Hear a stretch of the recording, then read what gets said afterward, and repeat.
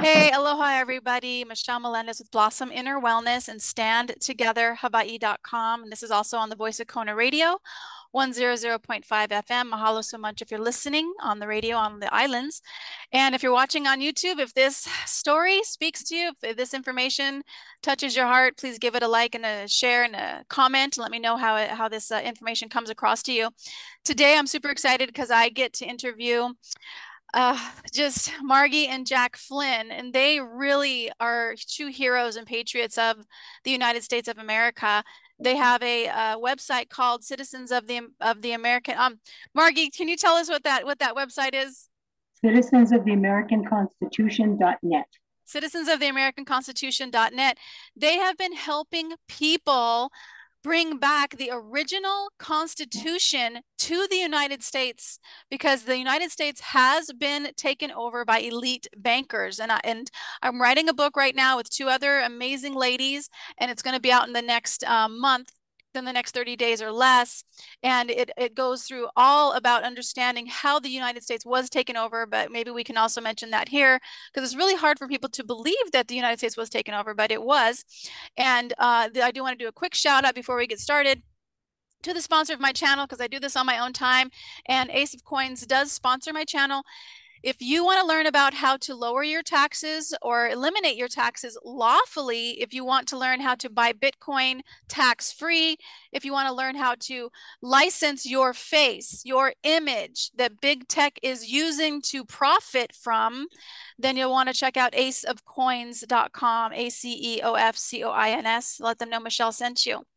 All right, so let's get started.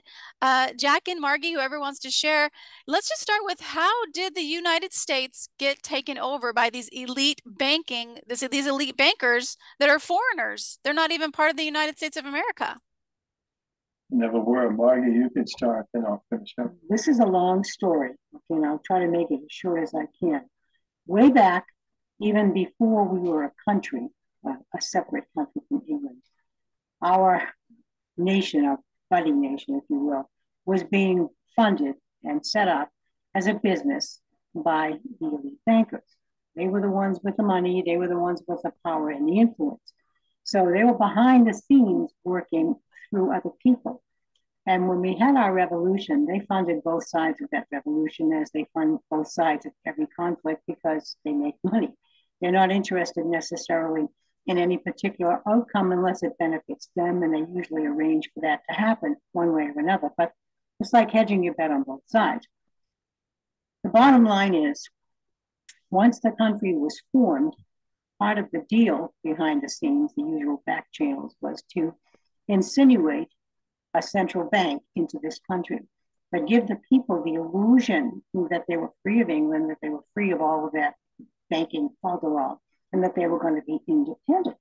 The idea was to give them the incentive to work hard and really create the so-called greatest countries on this world. Okay? Mm. And that's what happened over time. It's a lot easier to get people to do things if they think they're doing it for themselves. Yes. And if you don't see the bars on the window because you think you have freedom or liberty, you don't realize that you are actually a slave in the service of these evil masters. And that's basically what everyone is. And as you probably know, and your listeners and watchers probably know too, everybody in this world is into some kind of debt, at least most people are. And that's what helps make the system go on. The whole system is based on debt. The whole system is a fraudulent system. The banking system is a farce. And when time passed and the Congress and the nation began to realize that they were indebted to this central bank, which was a private central bank out of the city of London, owned by the central bankers. They decided they weren't going to renew the charter, and that was what was the actual reason behind the War of 1812, because they were threatened either you renew our charter or we're going to destroy you. And they Marie, can you bring the the mic a little bit closer? Sure. There, there you go. That's better. Thank you. They almost did destroy our country because they, they attacked us mercilessly and they destroyed a lot of important documents when they did so. And one of the things that happened was the original 13th Amendment got taken out, and a new one came in that was supposedly to uh, free the slaves. And that's a whole other story. I don't want to get off on tangent. The bottom line is it was all manipulation. And then it came back to the so called modern age when the creature from Jekyll Island was um, written by Ed Griffin. He very, very nicely, okay, excuse me just a second, my neighbor's dog was chasing my cat and he was coming to get him, so okay, didn't want to have a, a tragedy when she get out. Anyway, our cat's up the tree and she'll stay there for a while. She's smart enough. Okay. anyway, um, the story of Jekyll Island is simple, right? Some people behind the scenes, there was a senator and some bankers, got together and planned the coup by which they would steal our entire treasury and they would give all of our, our, our country money to this private bank. And they gave them the printing press and everything else that went with it to create what they called the Federal Reserve note. Now, a note is a debt, it's not money. Did you guys hear that? You guys hear that? A note yeah, is a debt. It. It's not money. That's right. You got IOUs in your pocket. They're not really money. And what happened was the people did not know about this. They thought everything was the same because, first of all, people did not have necessarily the interest in what was going on, which is the Florida people. And secondarily, communications weren't as readily then as they are now. So what happened? This became custom and practice any old bills were withdrawn, and the Federal Reserve note was made the legal tender. So it's a fiat currency because it's by order. Okay, this is the money that you can use. And unfortunately, Americans did not realize what was going on. So at that point in time, we call it the biggest act of piracy that ever took place. We basically gave this private bank the keys to the financial kingdom of America, right? And they've been running the show ever since with their fraud. And when and when you think of what they do, the, the amount of so-called fractional reserve banking that takes place every day, all of it predicated on money printed out of thin air, which means it has no intrinsic value. It's it's it's a it's a house of cards. It's the worst scam ever, but it's the way this country has been running for all of these years since 1913. And incidentally, that's the same. Well, I mean, in terms of the right. later bit, and in terms of the federal income tax, that's when the 16th Amendment was supposedly passed, but it never actually was fully ratified. So it really is not a lawful amendment. And even if it were, the Supreme Court has ruled that it created no new authority for Congress to tax the people. so I, I wanted because we just had tax season just now, I mean yesterday or whenever Monday was, um, and so I want you to to say that one more time because the 16th Amendment uh, was put through in Congress because Congress it wasn't ratified, which means many the states were not in agreement with this. That's right. They weren't in agreement because it go went against the original Constitution. That's correct. The original Constitution does not allow for the people to be taxed directly in this fashion. So it's an unlawful tax. And the government, quote unquote, the corporations that masquerade as government, they know this, but they look the other way and they play their little games. And that's a subject for a different time anyway. But what we have basically is the money powers who have absolute control over this country, over every institution of this country. And when you own the money and you control it, who gets it and how much, you can literally play God with people. And if anyone runs afoul of these money holders, they usually don't fare very well, which is why so much criminality is taking place right now in our country. Congress, they're sellouts. The governors are sellouts. The local senators and representatives are sellouts. The local cities, you know, the boards, whether they're uh, select people or commissioners or whatever, they're sellouts too. And they're all taking orders from the top. Yep. And the top, you know, are the globalists. And the globalists are one and, and all with the bankers in this what I call a ruthless plan of global domination, that we will be totally, we'll be a, a, a technocracy, okay, which is something that when, when it was first proposed years ago, it sounded cool. Oh, no, all these technical no. advantages, it's not. It's an invasion of our privacy and it's an invasion of our bodies and our health. All of this 5G and everything else is all interrelated. And it's all being funded and ordered and controlled by this handful of bankers who run Mhm. show. And I think there's some entity above them that isn't on our earth right now who calls the shots to them. But they're the ones that got the money and the power and the influence to control America and essentially the entire world. So that that's where we are. We got here because our country was sold out from the very beginning, behind the scenes. Some of the founders were kingsmen; they were not men of the people, Yeah. and they cut the deal with the king and with the Bank of England and the people who own those banks to basically take control of America, and they've done Yep. so ever since. And the average American has not one clue about any of this. And, uh, Whoever speaking- doesn't get a hit. Know? Absolutely. And speaking of selling out, I just want to share because my screen really quick with people and let them know about this um, this bill that was passed. It's a bill that is allowing for Hawaii Electric Company to uh, bill regular people, increase their rate for wildfire protection on Maui. Can you believe this? This is such a slap in the face. 1,100 pieces of testimony against this bill went missing for days this um and i just this is what i'm this is what we're talking about selling out because this chairman uh let's see yamashita he's the one that oh he didn't he he he just they misplaced 1100 voices that said this is we we oppose this so uh this is ellie cochran who's very much a stand for the people state representative of lahaina but um she says that a testimony of 1,100 Lahaina fire victims was ignored by the House Finance Committee uh, during this passage of this bill that's going to increase their electric bill. So that's what we're talking about selling out. So, what is so amazing about having these two amazing patriots on this interview and on this channel is that they have been helping people for 70 years to fight back and to take back our and to, to go back to the original constitution. So I would love for you guys just to share in a nutshell the the process. You've shared this many times, but just the process, and then I do want to go into the successes you have had doing this because a, a lot of times people are afraid to try this.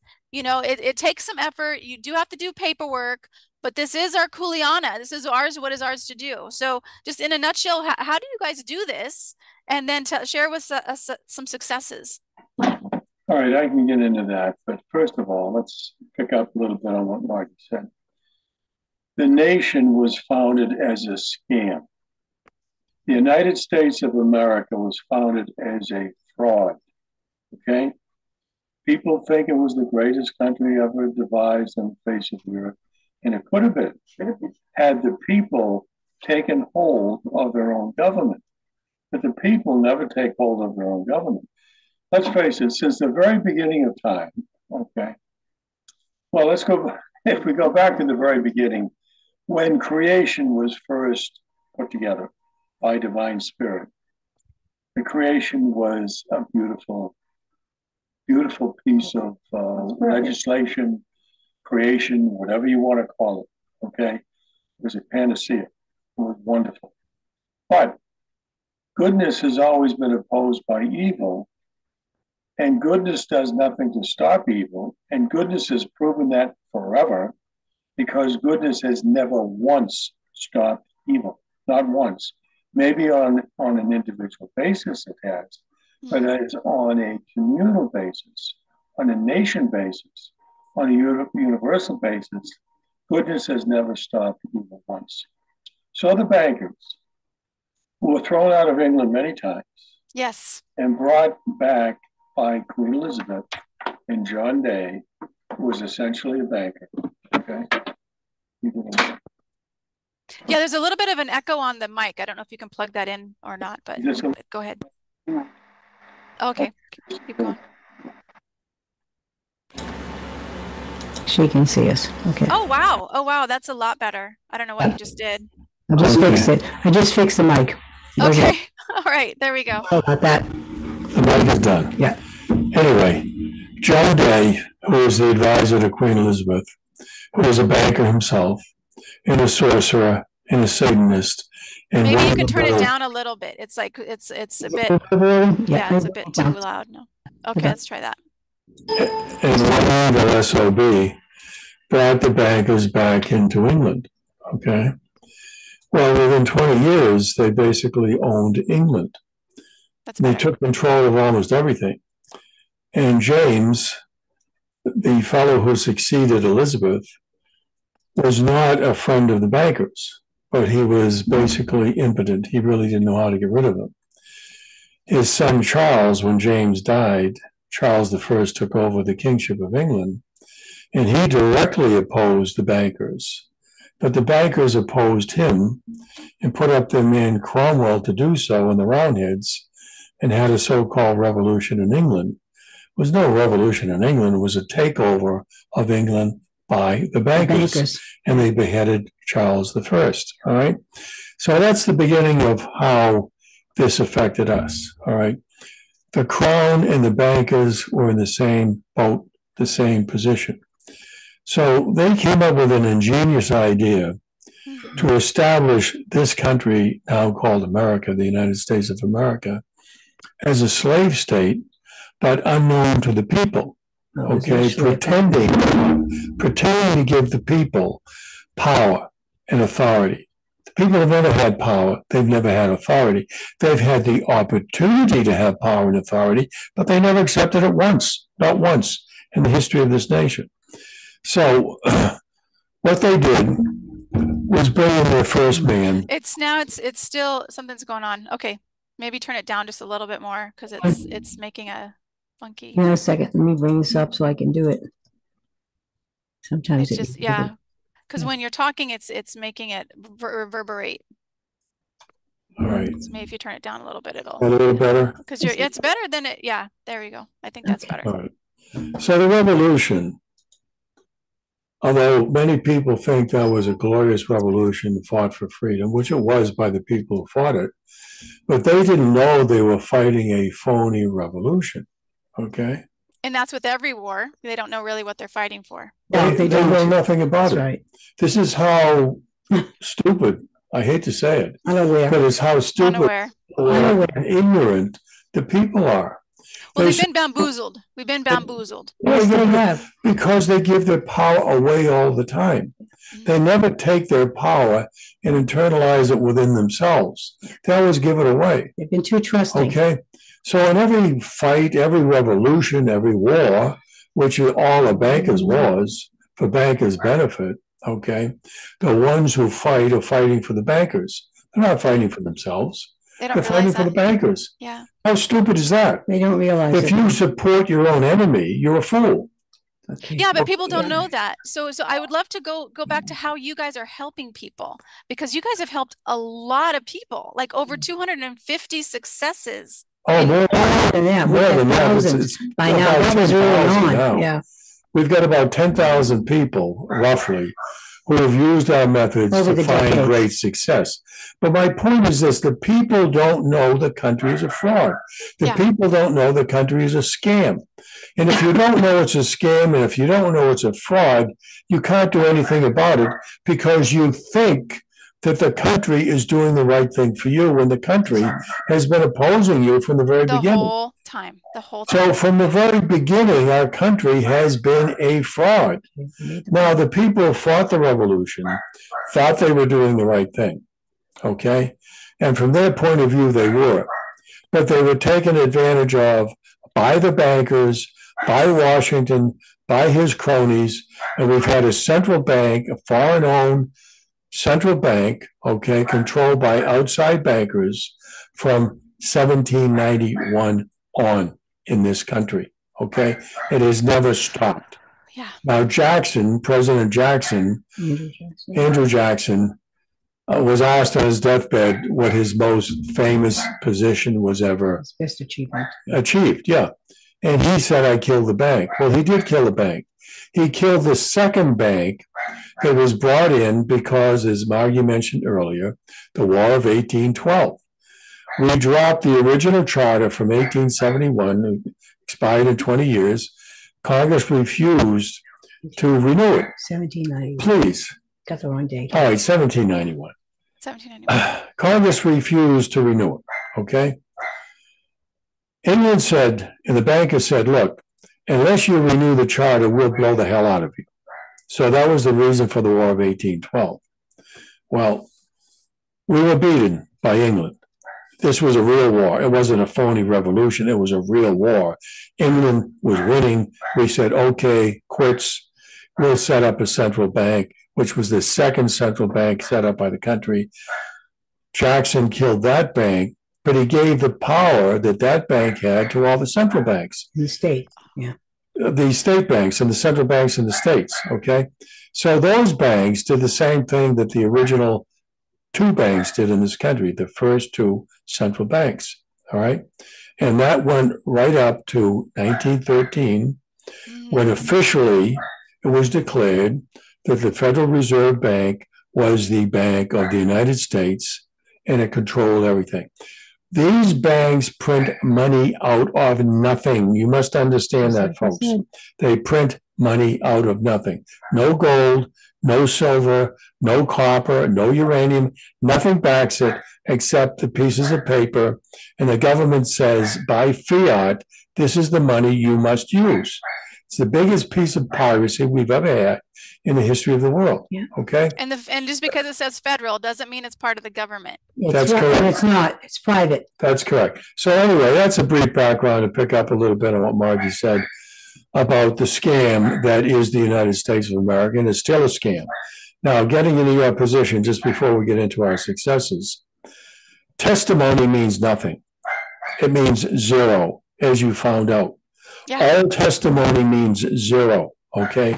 In some cases in court, some testimony can be effective. Our testimony has been very effective because our wins are about hundred percent, okay? No one else in the history of this country has had that win, and no one else in the history of the country does what we and our people do before the courts and before government. And that is to use the power and the authority of the Constitution against the unconstitutional actions committed by government, okay? And, you know, we've got more than 250 victories. It's probably well over 10,000 now. We don't keep Wow. count. The figure you were using is from about 25 years ago. Yeah, it okay? was on your website. Yeah. So it's it's broadened basically beyond that, well beyond that. However, this is the key. We have the method, and again, we have only devised methods based upon the original Constitution. Okay, we didn't write the original Constitution; the forefathers did. So we have devised methods that the forefathers would have used in the courts and against government to reinstate the power and the authority of that Constitution and the rights guaranteed to the American people by that Constitution. We've been very successful. However, 10,000, 12,000, whatever, 20,000, whatever it is, doesn't compare to three and a half million people. So we have the methods, we have the track record, it's proven, it's there for anyone to see. Yet the people don't care about that Well, because unfortunately, no matter what anyone thinks, the American people don't give a damn about their own country. I think they do. a- I, they just don't know what to do because for me, I was a lost soul. I was a lost soul. I would have taken the V. Um, I, you know, for eight, the past, I'd say eight or nine years, I finally have been waking up. You know, I believe the whole what happened with the two towers, the, the twin towers. I believe that whole story. Even though I was, even though I did have a question, I was like, how does how do they fall in their own footprint? And then uh, ten years ago, a friend of mine had me watch. Had told me, Michelle, I'll pay you a hundred dollars to watch this movie, and I watched Zeitgeist and I I cried for three days. I was I cried like I, I a, ba- like a baby. Like I couldn't get out of bed. I was depressed. I was like, oh my God, I get it now, and I see. And so now what we're doing, what do we do? But you guys, what you have, the successes you've had is so incredible. Um, so I do want to. What is the process of it? The first is an affidavit, which I've written to the governor then I cannot take the governor to civil civil action, civil court because I'm not on Maui. I don't have standing. I can take the Big Island County Council Yes. to civil court, which I will be doing because they have absolutely violated the Constitution. The people on Maui should be taking the governor as well as all of these people who are disregarding uh, their their testimony. Eleven hundred testimony goes missing. That person needs to be taken to civil court. Um, so tell us a little bit about the procedure of how you do this. So you have an affidavit of truth. What is that?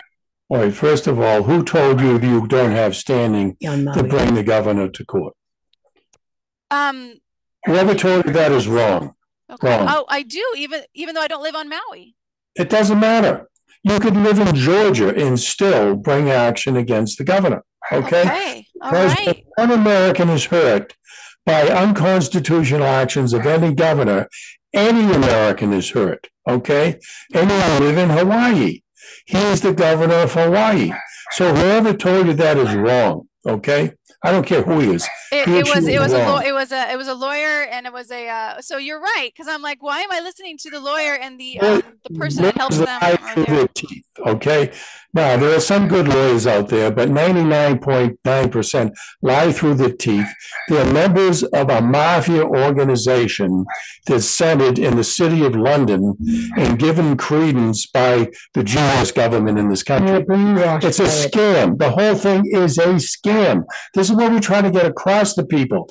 Don't believe any crap that the government tells you. They're lying through their teeth. And they true. lie through That's their true. teeth forever. Now it's up to the people to hold them responsible for those lies. So let's get into what, we- what we've done, all right? First of all, we're based on the power and the authority of the national constitution. That national constitution is the original organic constitution of this nation, okay? Seventeen eighty-seven, as amended with the Bill of Rights in seventeen ninety-one. It's called the Constitution for the United States of America. That is a national constitution. All right. Now, you can find probably 30,000 people across the country who know this. All right. Because most people, virtually all people in this country, take their allegiance to the U.S. Constitution, which is not the national organic constitution right. of 1787. So tell us the date of the second constitution. Eighteen seventy-one. 1871. It was put together by a Congress in 1871 that had taken allegiance to the original Constitution by swearing an oath to uphold it forever. So that Congress in 1871 created an unconstitutional, fraudulent communist constitution or corporate constitution that created the corporate state throughout America that was finalized over several years and finally completed in 1871 or 1878, I should say. Okay. So that corporate constitution defies the original constitution. The Congress that created that constitution, the phony constitution, swore an oath to the original constitution, as I said, but Betrayed it. defied their oaths Betrayed and betrayed the original constitution when it created the corporate constitution. And every governor, every president, every Congress, every politician mm-hmm. has upheld that treasonous constitution ever since. All the oaths that are taken in this country are taken to the treasonous constitution. You can't find 300 people in the country that know that. Yet the people have accepted all this fraud forever. They never questioned it. They've So- accepted it.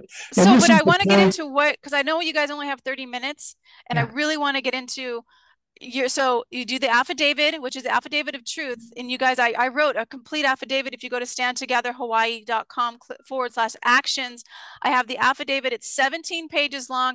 Mm. This is a, this was held, this was created because of their template, Jack and Margie's template. And then what I did is I went in and I wrote all of the violations that the governor had made against the original constitution and the people and i submitted that to him now after that um, and, and a lot of people have done that as well after that the next step is to to file a case with civil court is that correct There are two things, well, there are several things you could do. Filing a case, yes, of course, is the main thing.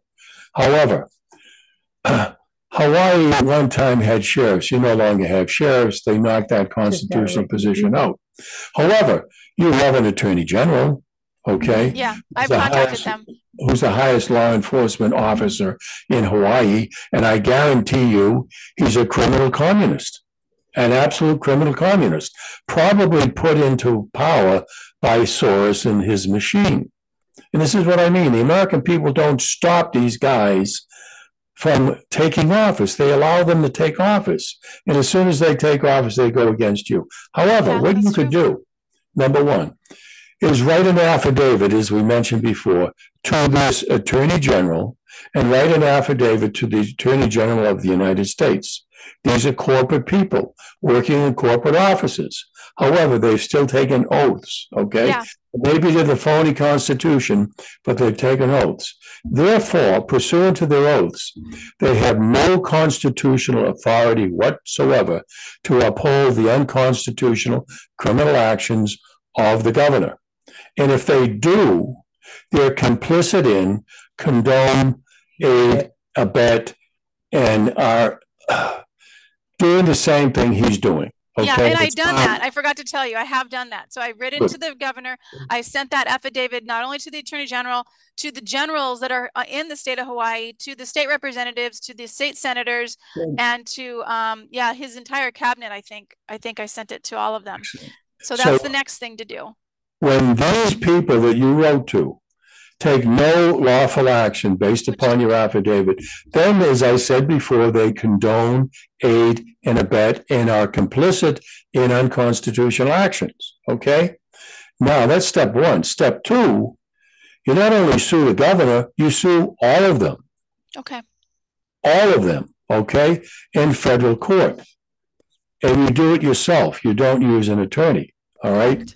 This is what people have to understand. They can't use attorneys because the attorneys in work on for it. the bar. Yeah, the, the bottom line is this: the criminals are guiding the criminals. Mhm. Okay, the criminals are the gatekeepers for the criminals. So the criminals, who are all members of the corporation, do not act for the benefit of the people. They act for the benefit of the corporation. So they dump you. So if you speak for yourself, and we can give you some pointers on that because you've won a bunch of cases, Yeah. okay? And you hold the judge to the constitutional mandates imposed upon him immediately, and I'll tell you how we do it. Well, first of all, we set up the affidavit, all right? Yeah.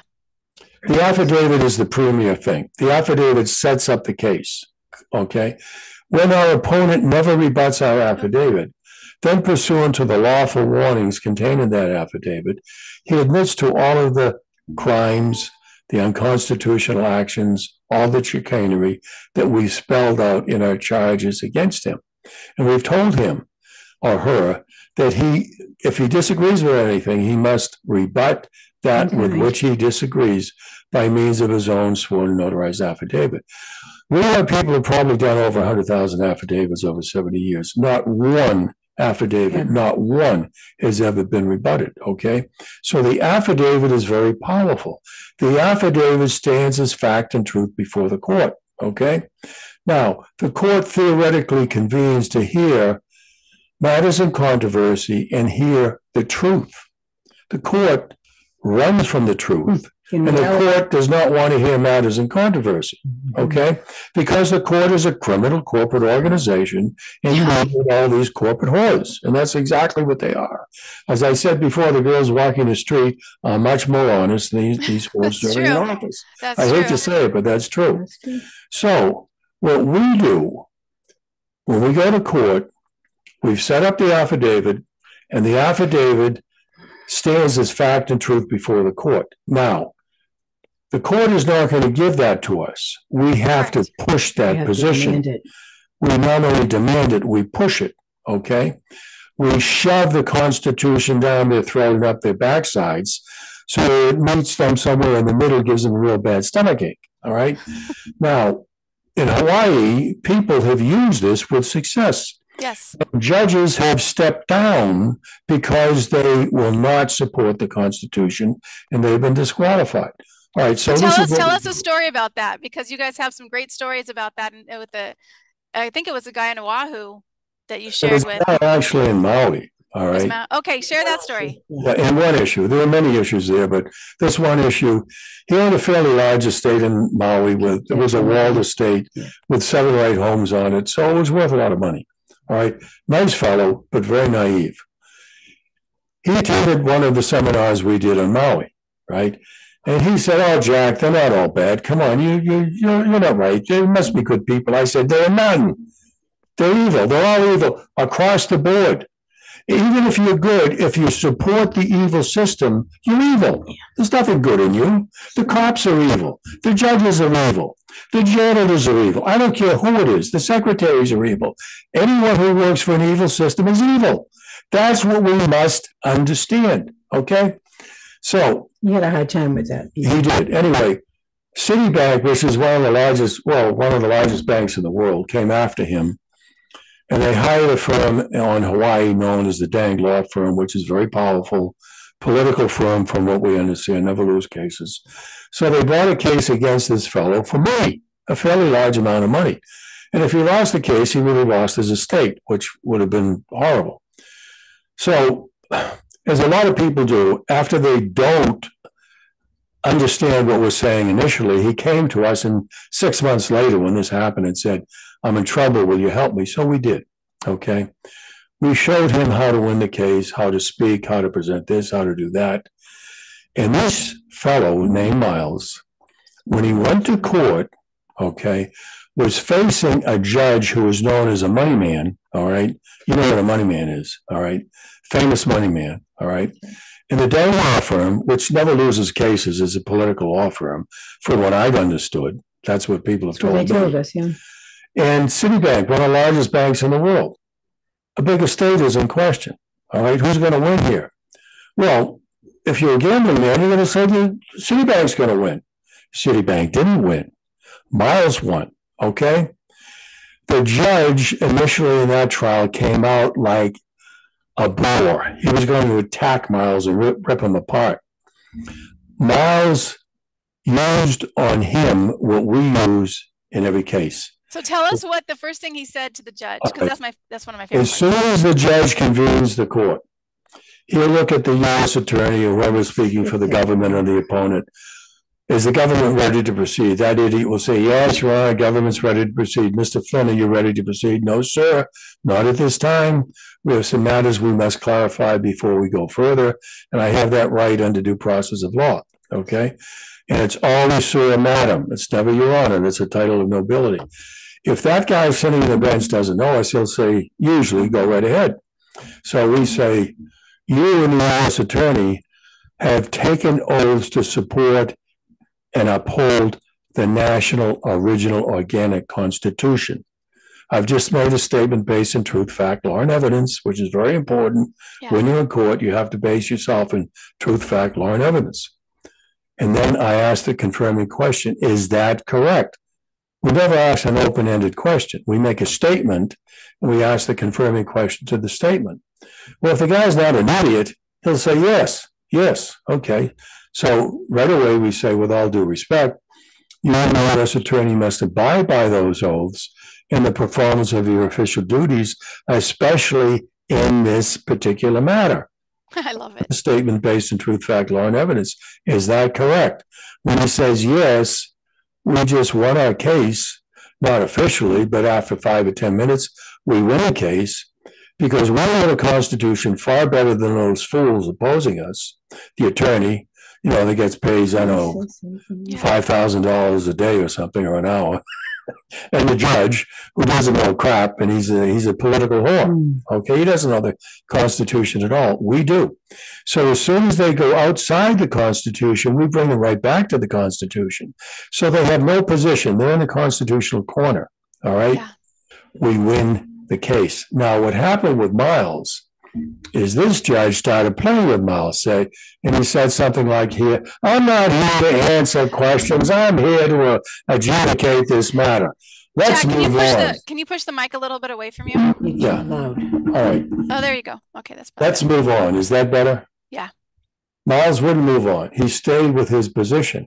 The judge refused to confirm the fact that he had taken an oath and would abide by an oath. Wow. So Miles disqualified him and said, Step down. You are a traitor. You don't belong in that position. Step down. And that SOB stepped down. He Oh my God, that is fantastic. so Miles goes into the, uh, the clerk of the court and said, I want a, an automatic dismissal. The judge left the bench, all right? Apparently he got it, but the court called for another session the next day. Miles had to go in. As soon as the judge said the same thing, are you ready to proceed? Miles started to say something else to this new judge. And the, ju- well, when I say something else, the same thing Yeah. to a new judge, Oh. all right? And the judge said, wait a minute, wait a minute, Mr. Saputo, hold on, you don't have to say anything. You have won this case, this case is dismissed, bang, it's over, all right? That judge dismissed the case uh, that Citibank brought against Miles, all right? This is the power of the people if they use the process correctly, okay? So this is what we use every time we go to court. However, the affidavit is designed, we don't like to go to court, folks, okay? We've been into many courts, many hundreds, thousands of times over the years.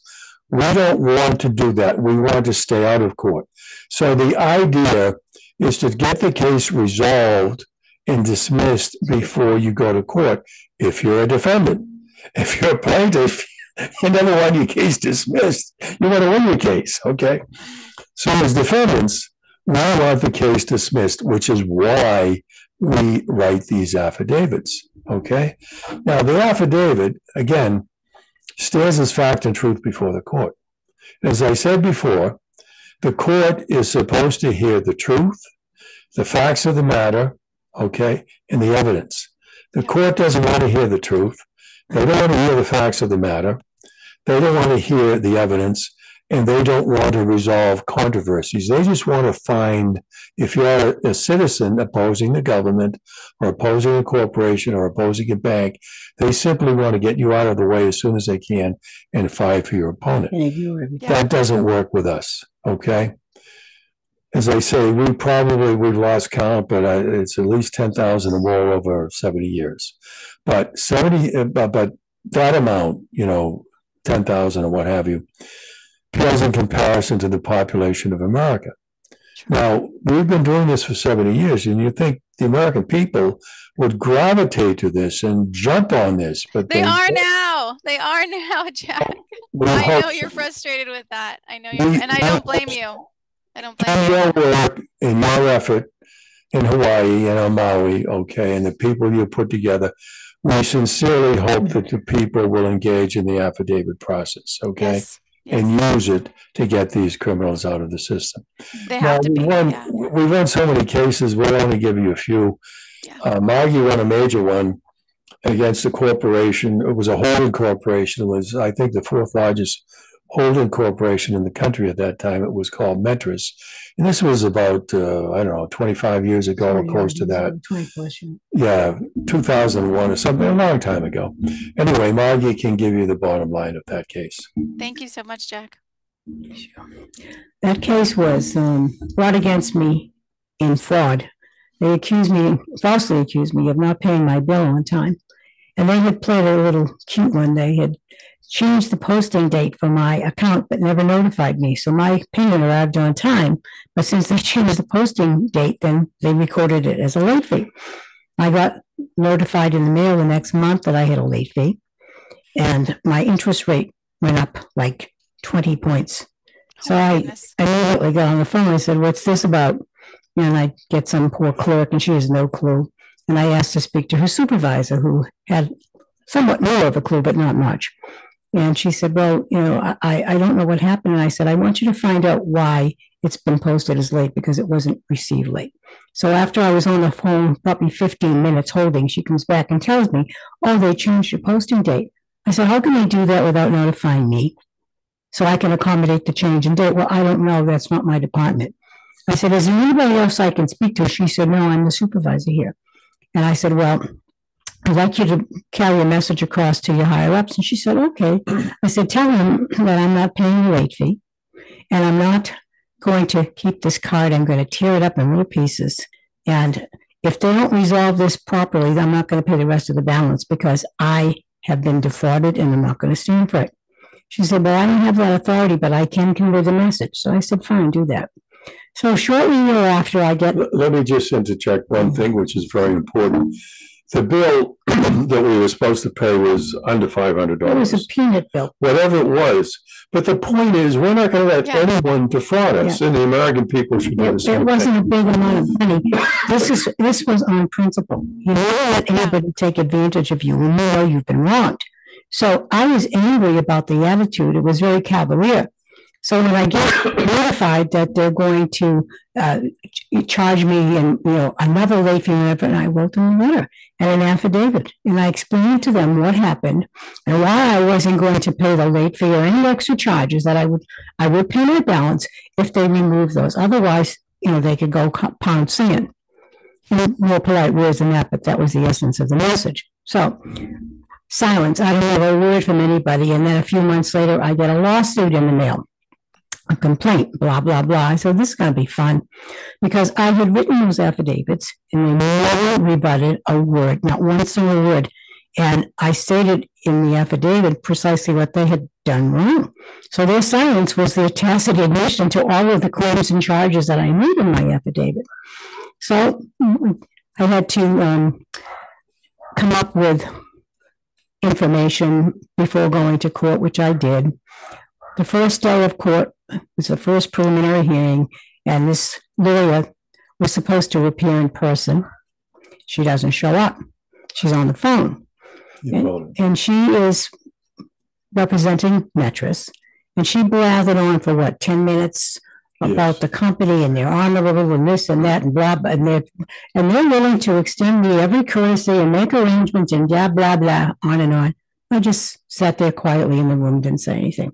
When she finished, the judge looked at me and he said, uh, do you, did you have something to say, Miss Edwards? And I said, I most certainly do.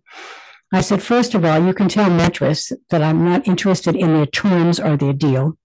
And you can tell them this, they're not going to get one dime from me, not one dime. They defrauded me, they lied about it, and now they're trying to cheat me. I'm not having it. So let's take this thing to trial.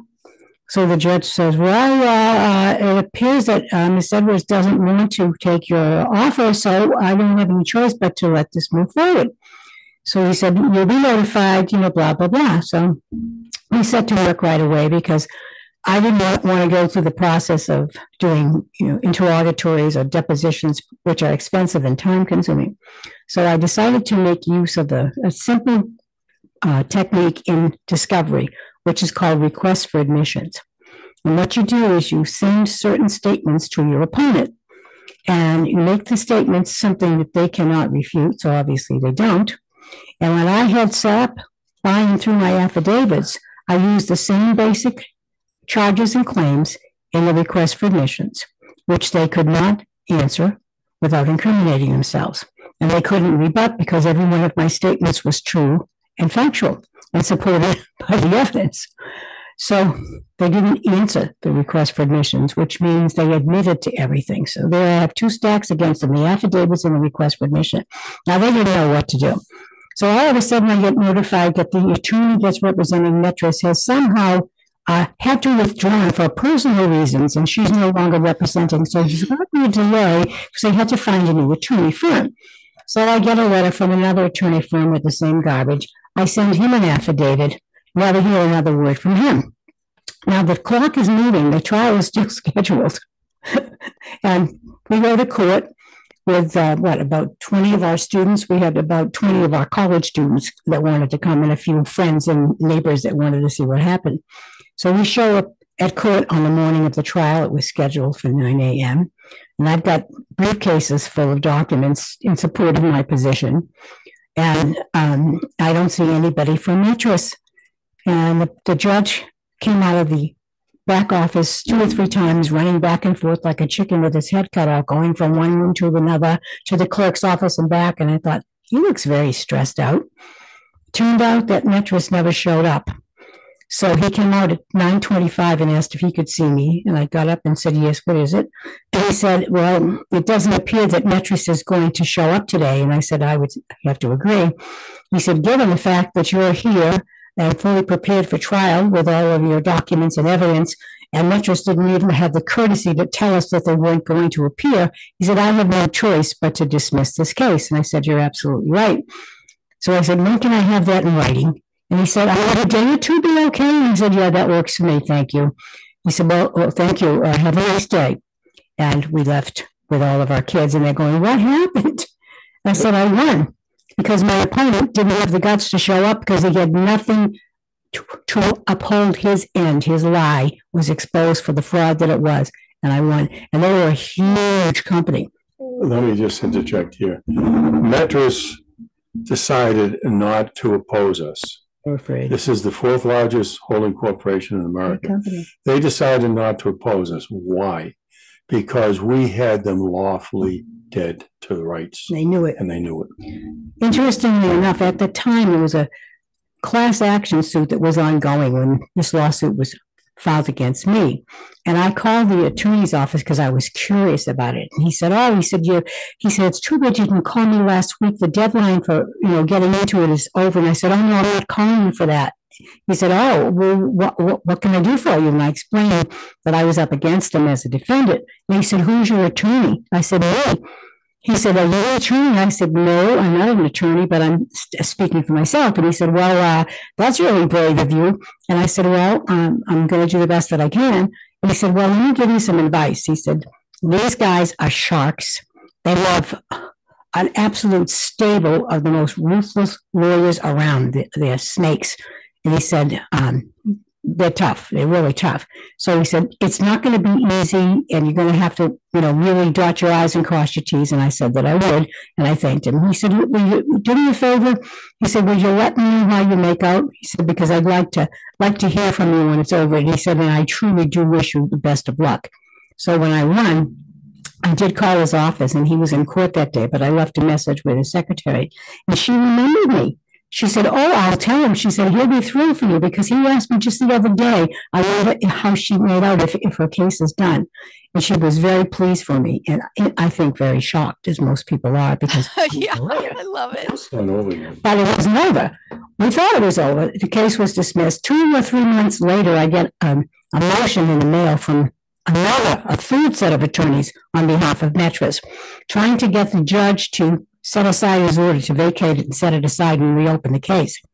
And I said to Jack, I'm not going to file a reply because if I do, I will be Okay. engaging. I'm going to send a notice to the court. The case is closed, blah, blah, blah. And I did.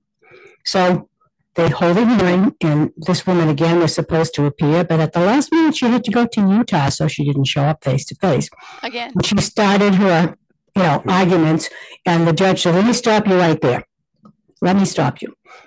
So he went through in five minutes' time the nuts and bolts of the case, making the arguments that I made, okay, in my documents, which surprised me because I didn't think he was even paying attention, but he was. And when he was finished talking, he said, "Look, Metris might have a problem." But their problem isn't with Miss Edwards. Their problem is with their attorneys, all of them. He said, but it's not with Miss Edwards. He said, I'm sticking by my decision. I'm not going to change my decision. My decision stands. This case is over and we're done here. Goodbye. Click. Bang the gavel and hung up the phone. And I, And and I want you it, to yeah. say in a nutshell, this judge did not like you. Well, Oh, yeah, that's, that's, that's the side story. This This is- judge yeah. absolutely couldn't stand constitutionalists because we would often go to court with students and other people and watch what took place. And he knew we were constitutional, so that we were part of this group and uh, had students of our own. And he resented the fact that anybody would challenge his authority. He was a big man, you know. So he, we overheard him one day as we were leaving the courtroom saying that he's going to get these constitutional idiots. He thought we were a bunch of morons. So when my case came in, I was supposed to have another judge. But when he saw it was me, he took the case over because he wanted to stick it to me. He was the head judge. And he was the chief judge, he could do whatever he wanted. So I said, oh no, I've got this jerk, you know. So I knew it was going to be a tough sell. And he was not a very nice guy and actually tried to have me killed which is a whole other story. I don't want to get into that, but it, it was a very dicey time. And a lot of people warned me to be very careful because of his reputation. And thankfully, by the grace of spirit, you know, the creator who uh, looks over all of us, the creatrix, uh, I was protected and I was given the right things at the right time in terms of facts and information. And I was lucky and uh, steadfast and I won. Using the Constitution. That's why I won.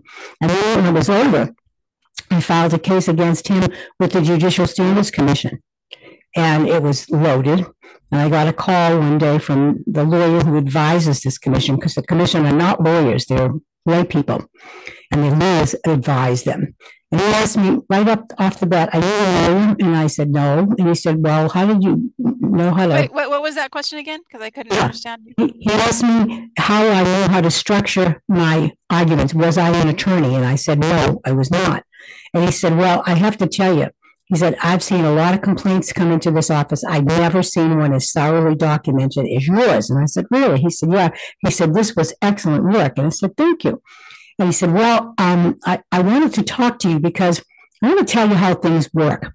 He said, this is kind of an old boys network, if you get my drift. And I said, yeah, I do. And he said, this guy is part of a, um, a group of people. I said, yeah, you don't have to elaborate. I'm on, I'm onto what you're saying.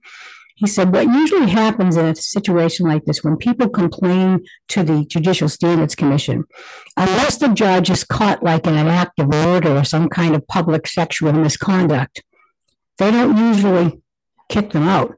But what they do, if the complainant's case is strong enough, they will take the judge aside and say, look, if if this goes further, you're going to make us all look bad. It's going to cast a pall on the judiciary in the state.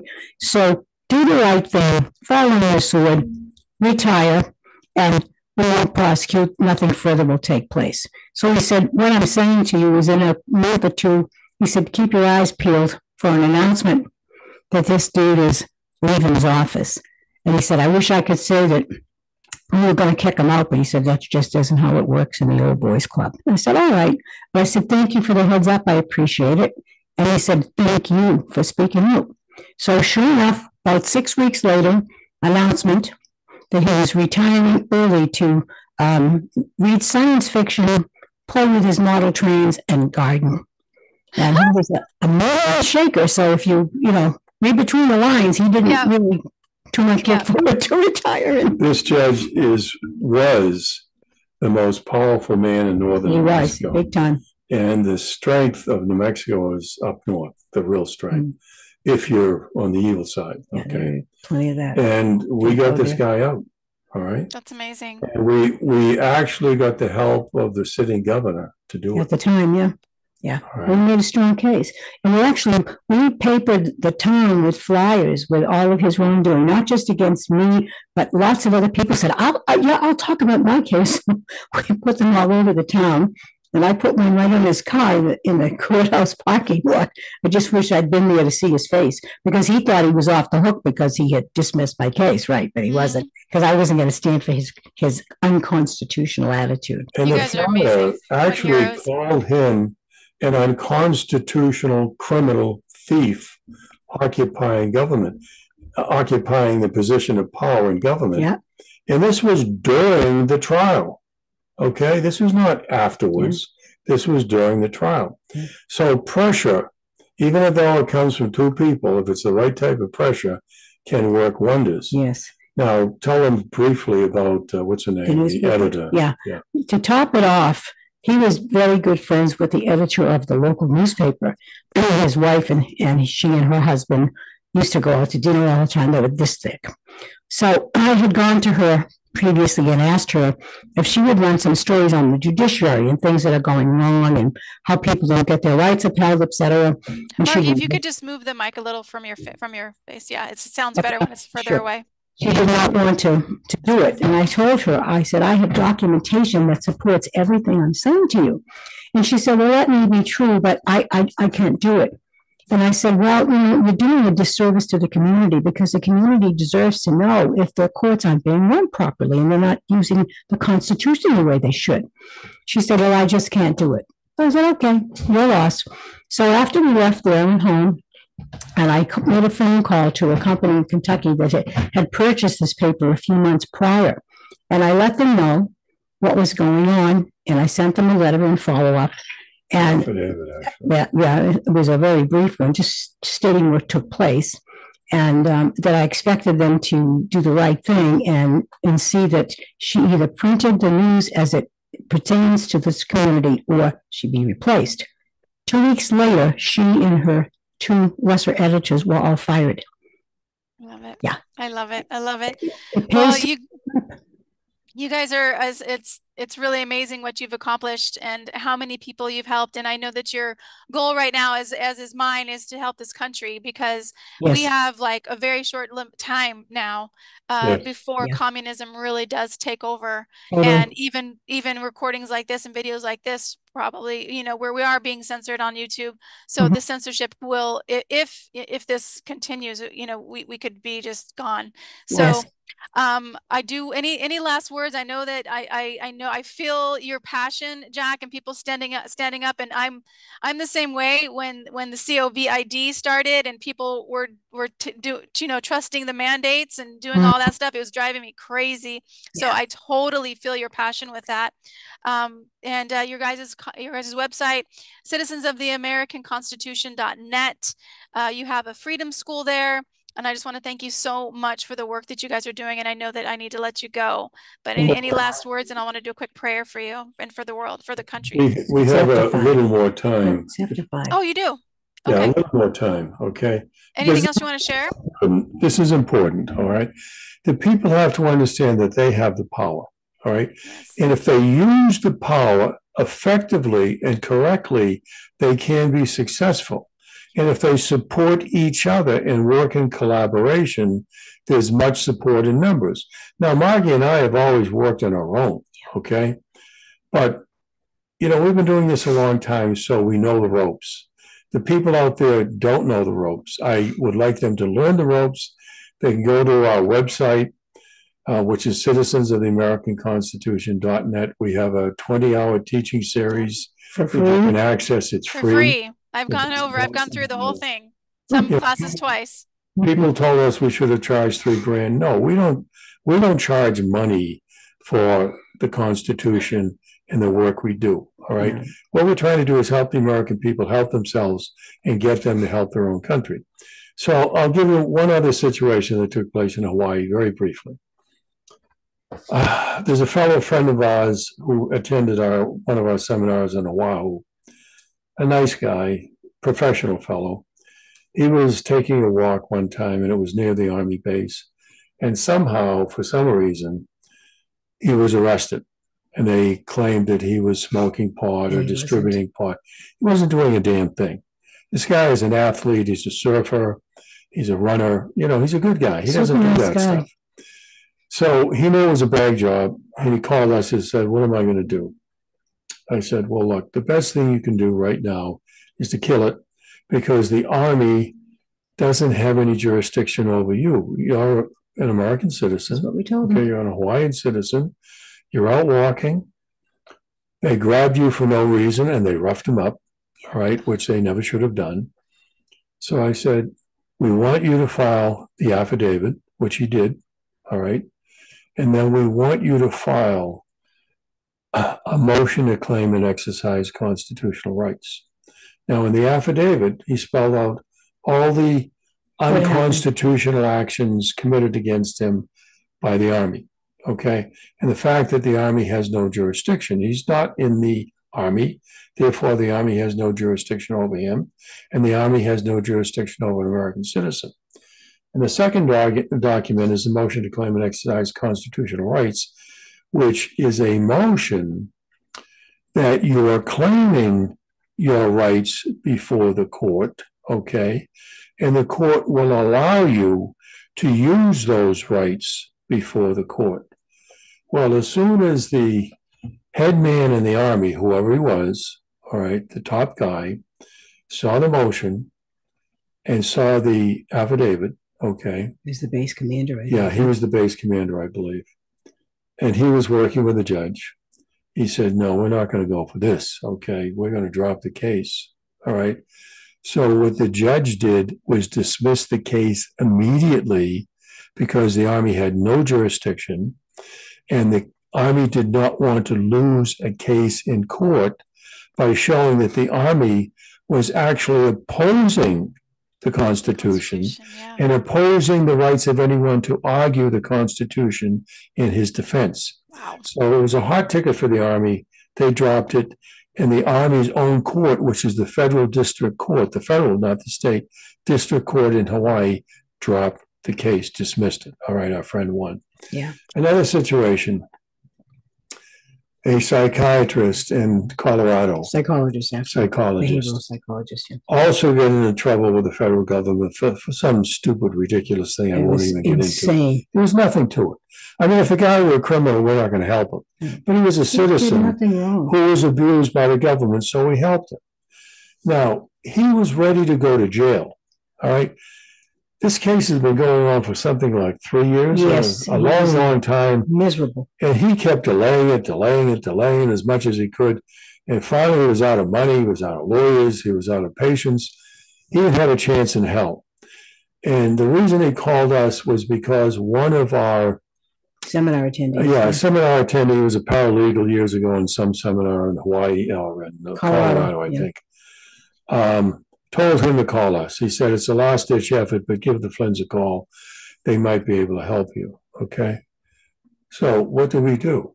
we knew that it was a dead deal. Yeah. All right. But we knew the court was not going to deny the Constitution on the public record. The federal court is insane to deny Yeah. the Yeah. Constitution to which they've sworn an oath in which they must uphold to deny that on the public record. So we filed, or we didn't file, this fellow filed the motion to claim and exercise the Constitution, security Constitution, rights. yeah, before the court. So it's a motion to claim your rights, number one. And number two, to use your rights, to exercise your rights before the court. Well, this court that had denied everything that the defendant brought in for like three years saw this and said, holy crap, and dismissed the case right And away. we also did something else. We, we suggested to him that in addition to filing this with the court in which his case was being heard, that he file it with the administrative office of the court, okay? Yes. Oh, That that's- yeah. these courts and let them know that his rights had been violated. And he spelled it out nicely, all the wrongdoing. And they took one look at that and said, uh-oh, hmm, we, we gotta drop this one. So they dismissed his case. And we, we found out about it in the, the morning I was heading down to have a, a hip operation. He called me, he said, I know you guys are getting ready to leave for the hospital, so just be a minute. And I said, okay, what's up? And he said, I just wanted to give you some good news. And I said, oh, great, what is it? He said, they dismissed my case. I said, Oh fantastic, congratulations. He said, uh, he said, I am over the moon. He said, I had the best night's sleep that I've had. He said, I, I, I'm, I'm still in shock, but I, I just wanted to thank you guys for helping me, everything that you did. And he said, I wanted to tell you, David, the fellow who told him to get a hold of us, he had said to him, you know, maybe they can help you, maybe they, they can't, but it's a, it's it's a long shot, so you better be prepared, get your affairs in order, because you're probably going to jail. He said, I called David as soon as, as I got the word, and he said, holy, you know what? He said, he said, this is one in 10 million. Nobody wins in federal court. Nobody, especially without a lawyer. He said, uh, he said, I, uh, congratulations. He said, I'm, I'm blown away. He said, good thing that you called Jack and Margie. So And no one, no one. one, no one does win in federal court if you are speaking for yourself. And you can check this out, roughly for 35, 40 years. Yeah. No citizen has ever won Yeah. in federal court who is speaking for himself. Our people do, because we use the power and the authority of the Constitution. We hold that traitor on the bench to his oath. Now, one more, a couple more things. We don't only help people, we don't help people anymore. We can't help them anymore. Because yeah. everyone who calls us wants us to do the case. Everyone who Yeah. writes us wants us to do his case. It's impossible. If we did this, we'd be working 24 7, 365. And we're, we're getting old. we can't do it. Okay. But what, what we're trying to do is help people help their Themselves. country. And- Okay. And when we were doing this work before, we also helped communities with various things, not just individuals. All right. Now, you probably heard of Los Alamos National Labs. It's the largest nuclear Oh, yeah. manufacturer in the world. It's in New okay? Mexico. Okay. We beat them five times. Okay. Never went to court, didn't have to go to court. The affidavit was Stop enough to stop the programs. They were doing nuclear programs, this program, that program. Bomblets. I mean, it was insane. All right. And we put them on the lid, on the table, showing everyone what they were doing. buying through the affidavit. They didn't want to take the heat, so they dropped the programs. Yeah. right? And we got the Secretary of the Environment of that state to work with us. We, we got him to come to our town and look at all of the transgressions that were being done, pollution and so forth. And we told him, he said, is there anything else you want us to do? And I said, yeah, I want you to go to Los Alamos National Lab and hold them accountable because they're doing things they shouldn't do. And I had all the documentation. He said, you know what? He said, even though they're going to say it's a federal enclave, this is New Mexico, and I'm the Secretary of the Environment in Mexico. I'm going to do it. And he did. And he shut down several projects and made them clean up their act. And the, the so-called nuclear, anti-nuclear agencies that were all posturing and never did a thing were absolutely stunned that we had done this. So we, we had about five major victories against them, and that has never happened before. And it's all because we used the Constitution and we held all of the officials to their oaths, and they knew it. We had them by the you know whats. So I want to hear did. about the the one case you guys did with I don't know if it was a county or city council with 200 people there. Yeah, Share the share that story. Electric I'll talk about that. Now, let me tell you, this was a long time ago, okay? And there were, a long time ago, there were some people in government that respected the people. Not many, Yeah, but some. few. We got two of them. We got the governor of the state and we got the secretary of the Mhm. environment of the state to help us constitutionally to correct wrongs, all right? Now, the people can do this if they really want to do this. Let me get into the other situation. Uh, PNM, which was Power New Mexico, was a large conglomerate. They supplied power all over New Mexico. Very Very, politically. very politically strong, very involved. What all are they called? P and M. Power New Mexico, PNM. What they wanted to do was take the energy they were sending to Las Vegas and sell it to California for a much higher rate. I understood it was something like 500% higher in California because there was a crisis out there. Enron. And this was during the Enron scandal. Oh. They were mixed up with Enron. It's a whore's business. The whole thing was a Yeah, whore's business. But the point is, they're going to sell that to California, and make a fortune on it.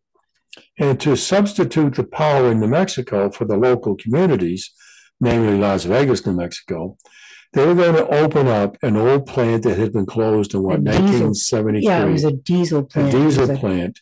And when it was built, it was, there's not a lot of population there, but the town built up. And it was heavily occupied. It was a densely populated area. And the plant was on a hill. And it was going to be a diesel operation with trucks going It up and was down the supposed to hill. be natural gas. They lied. They always It was The lied. last minute, they changed it to diesel. And there were a lot of elderly people who lived there, and the pollution was making them sick, lung disease and heart disease. So eventually they did have to close the plant. Now they wanted to reopen this dinosaur and pull all these people again. We said, oh no, that's not gonna happen. And there were other people involved who were doing the usual, what we call lame brain administrative approach, trying to be nicey nice and pat back, oh yeah, and they were getting nowhere. So these folks heard about us and they asked us, we had just come back from a seminar, wasn't it? Yeah, And they called us at the last minute and said, could you meet us for lunch today? Because we have some things we have to talk about to stop this. We said, okay. Uh, we had like half an hour to meet them. We just put our bags down, went to meet them at this local restaurant, talked with them for what, two hours. And then we said, well, you know, think about it. When, when is, when is this meeting gonna happen? They said tonight, seven o'clock. We're like, geez, you know, thanks for the notice, you know, well, you know, it just kind of happened at last minute, but can you help us? So we said, well, you better go and talk it over amongst yourself and decide. Because if we're going to help you, we have to put our heads together to, to create something that's going to be useful. So they said, okay, first of all, these people knew nothing about the Constitution. Zero. Okay, ze- nothing. They knew nothing about affidavits. They knew nothing about Right. politicians. And they were dealing, as Margie said, tootsie fruitsy, nicey nicey, yes. smiles, shaking Mhm. hands, all that crap. That doesn't work with Yeah. government. Hard face, knuckle, eyeball to eyeball, nose to nose is what works. Yeah. And that's what we use. And we use it against government, we use it against the courts. And it works for God's sakes. Now, you don't want to get aggressive and pugilistic, you but you want to get very direct and very much in their faces. Go ahead. Well, what happened was we, s- we told them that we would help them write an affidavit. They had no idea what to do. So we said, all right, even know what an we'll put the language together for you. We'll get there early. We'll coach you on how to present yourself. So we did. And we wrote a very simple affidavit that basically said to these idiots that were on this, it was what they call a board of adjustment. And what they were trying to do was review a decision that the city had already made to allow the plant to open. And we wanted them to cancel that decision. So we, we phrased the affidavit in such a way that, you know, if you, you, you oppose the rights of the people, blah, blah, blah, you vote against it, otherwise you vote for it, this type of thing. So they had really no choice. They were put in a box. So people got up and spoke. We had coached some of these people on how to present themselves, and they did so. We got up and spoke. Finally, it was time for them to make a decision, and the, the president of this little group handed the affidavits that we had written for them to each member of the Board of Adjustment. They took one look at this and they all got white as ghosts and said uh, to, to each other and said, okay, uh, we're going to take a, a, a break uh, to discuss this and we'll be back in about 10, 15 minutes. And they left the room, went outside. So everyone was talking and buzzing. What are we going to do? What's going to happen? Whatever. And we said, you know what? Uh, just, just sit tight, you know, because these folks told us that this board had never once found in favor of the people. They've never reversed what the city had done. You know, it's a done deal and don't bother us type of thing. Remember They what, I- remember what I said about the criminals protecting the Yeah, criminals? That's same what thing. these boards are. So they came back in just about 10 minutes after they had gone out the door. They all sat down Less than that. and they said, the, the chairman spoke up and he said that the committee had uh, decided and they voted and um, unanimously that the plant would not be reopened. And that place exploded with cheers from these people. It was packed. There must have been 200 people shoved into that Yeah. meeting room that night. Could- And they were, you could hear it outside. The noise was like a cacophony because they were overjoyed that they had actually accomplished something together, united. Yeah. And they were thrilled because it had never happened before. Now, this plant, had it opened, would have polluted that whole area. Big time. Little kids would have died, old people would have died. Mhm. Natural gas was never used, Never. okay? It would have been a total disaster for the entire town, And we stopped it. and we stopped That's it, That's fantastic. right? So And let we- me ask you guys about Maui because we are in the same boat. Uh, well, Hawaii's in the same boat. Like they had 1,100, I just showed at the beginning, 1,100 testimonies that go missing before this bill goes past. Yeah. So our job is to take all of the Maui, I'm sorry, um, governor, the attorney general, everybody who I've sent those those affidavits to, and do a civil case against them. And Mm-hmm. also these government, these uh, county of Maui officials that are doing this crap of missing testimonies, 1,100 missing testimonies. They need to get affidavits directly. Who is responsible for the testimony? Why wasn't it presented before the public? All of those things. They you make positive statements. You failed to do this, you failed to do that. They're not going to be able to rebut it. Then you can hold them No. accountable when they don't rebut, and you can Got take it. that against them to court. And the testimony was given no due consideration. There was no due process, there was no due consideration. Yeah. Okay? Trample on the people's And rights. what we do with, with uh, courts of people who go against, uh, go against us, which is very rare, but sometimes some of our people have some problems. So we use something, and I think I mentioned this before. Okay. We use, uh, in, in just a minute, we use something that has worked every time, okay?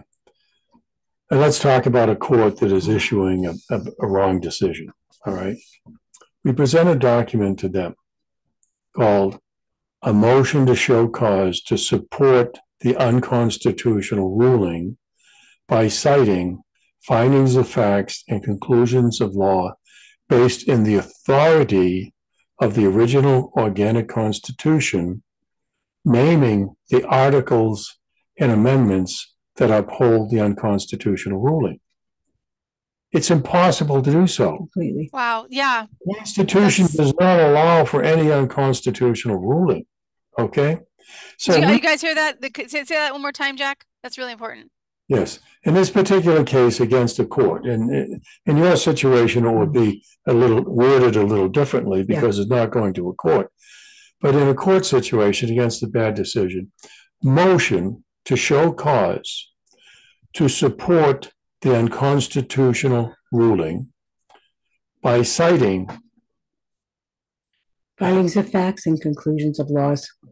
that uh, by citing conclusions of facts Findings of fact. and conclusions of law, okay, which is very important, through articles and amendments of the national constitution that support the unconstitutional ruling. You can't do it. That's impossible. It is impossible. So when the court cannot cite any constitutional authority for issuing their unconstitutional ruling, the ruling gets reversed very quickly. You can do the same thing with these people. Yeah, people. just phrase it Okay. differently for that circumstance. These Yeah. guys, remember, remember something. This I is something that. to That's take so home for the people too. Government of right serves with the consent of the people and upholds their will. Government of wrong ignores the rights of the people, tramples upon them, and does not obey the will of the people. Now, if you had eleven hundred testimonies against this situation that weren't even allowed to be presented publicly, then no due process of law was provided to the people, their rights were trampled upon, and these guys all perjured their oaths of office, which means they vacated those offices. So those are the things that we would cite against them. Right, and based on that, we have to run. Okay. Michelle? Thank you so much, you guys. I'll Thank let you guys go and then I'll do the prayer. But much All right. mahalo to you and aloha. right, as well. Be well. Bye-bye. Thank you, honey.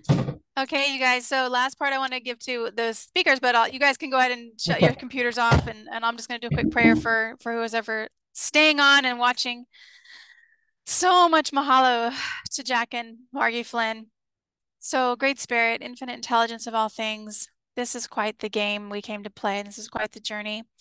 Just sending so much gratitude and so much safety and joy and healing and abundance to Jack and Margie for all of their work over 70 years of supporting the Constitution, the original Constitution of the people, for the people, by the people. And Great Spirit, I just know that each one of us is being guided by you. And I trust you. I trust you in the journey of this world and of all of the people here on the Hawaii Islands that each one of us knows what is our kuleana, what is ours to do in this present moment, and that we do it with confidence, knowing you are guiding our steps every single way. You are gui- guiding our words all throughout the process. And I'm so grateful because we do get to watch as these people who do not honor humanity and honor human life and honor the rights of the people, that they are peaceably removed from office or that they are voluntarily stepped down and that this world is turned back into a place of harmony and of peace and of unity for all people. And I know that it is done, Great Spirit. Thank you so much. And so it is. So sending you so much aloha from the big island of Hawaii. And please join Stand Together Hawaii.com. If you haven't joined that email list, please do join that. Jack and Margie's website is uh, citizensoftheamericanconstitution.net. So you can go and find their free freedom school. Much aloha, everyone.